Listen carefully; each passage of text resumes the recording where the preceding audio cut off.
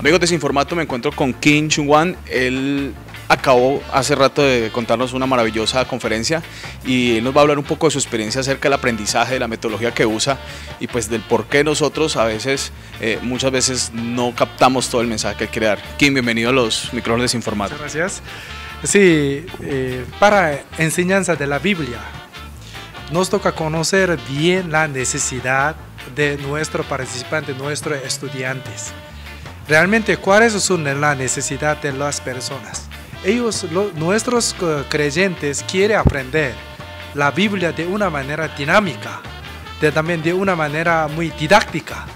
Pero muchos seminarios, muchos institutos saben enseñar, pero eh, ellos también solo quieren, trata de transmitir informaciones. Pero la enseñanza no es transmitir información enseñanza es causar aprendizaje. Por eso nos toca desarrollar, nos toca investigar más cómo nosotros enseñamos de una manera didáctica, no por mi interés, sino por la necesidad de nuestro participante.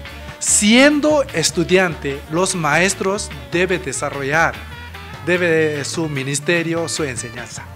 Eh, muchas gracias. Danos un saludo a todas las personas. ¿Cuál es la inquietud que le vas a dejar? Eh, mi nombre es Song Kim. Yo soy misionero, yo soy pastor, yo vengo de Corea. Y yo quiero felicitar a los nuestros hermanos colombianos porque Dios ama mucho a los colombianos. Por eso para mí es un gran privilegio estar en Colombia. Gracias. Saludos para Sin Formato. Sí, muchas gracias por nuestros eh, televisión sin formato. Sí, yo quiero que esta emisora sea una gran bendición, no solo para Valle, sino para Colombia y también por todas las naciones. Gracias. Muchas gracias, Ken.